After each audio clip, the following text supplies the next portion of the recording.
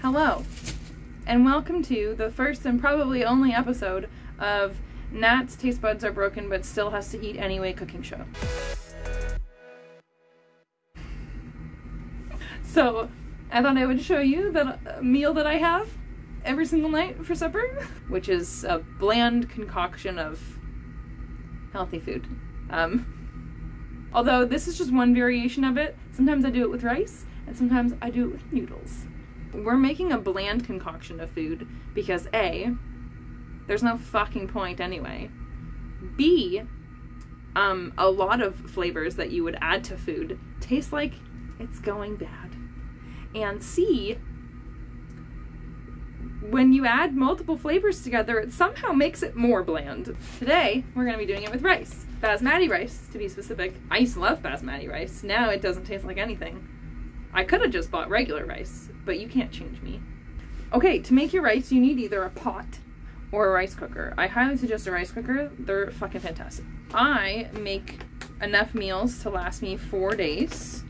Um, normally, people might be like, What? You're eating the same thing four days in a row? That's so boring. My entire life is boring. I mean, anything that I eat that doesn't really taste like anything is going to end up exactly the same at the end. Which, if you know me from TikTok or from real life, then you, you know what that ending is. But if you don't, I will not spoil it for you. First step, pour one cup of rice in your rice cooker. Then pour two cups of water in your rice cooker. Some people might tell you to wash your rice first. I didn't do that. While the rice is cooking, we're gonna cook this ground beef, which almost tastes like ground beef. So at least I have that going for me. And you can just plop the beef on your pan. Plop. While the beef is cooking, we'll cut up this large amount of red peppers because they're almost the only vegetable that doesn't taste like the rotting flesh of my heart.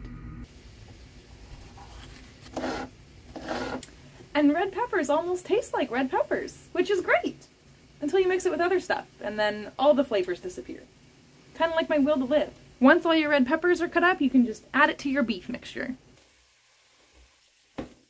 Next, we're going to chop up a fuck ton of spinach. Spinach doesn't taste like anything, but it's good for you.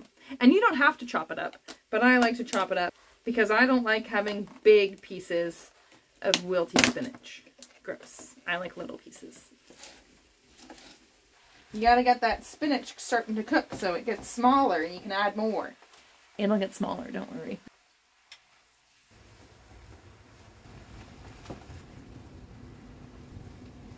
So I always use one pretty bowl for the meal that I'm going to eat right after making it. And then I just use containers for the rest of them. You can use whichever container you like. I just have these stained containers. The rice is done cooking. You're just going to grab a spoon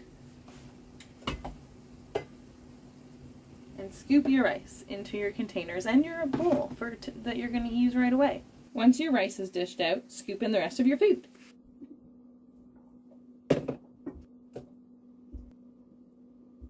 There we are. Isn't that delightful?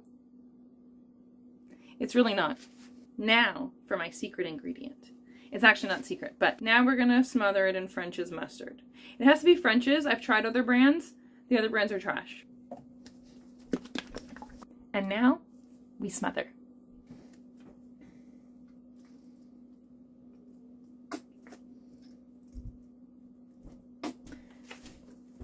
Pro tip, if you think you've poured enough, you probably haven't.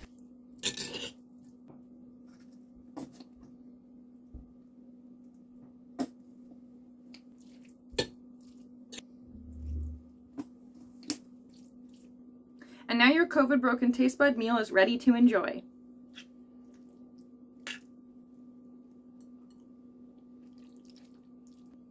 It needs more mustard.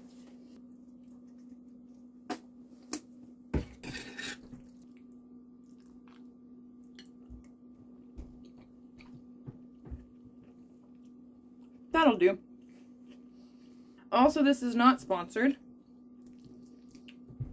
But I wouldn't mind if French's even just sent me some free mustard. I go through like a bottle a week, guys. And there you have it. Then all you have to do for the next three days is just pop it out of the fridge, put it in the microwave, and smother away. I hope you enjoyed. Have a good day, guys.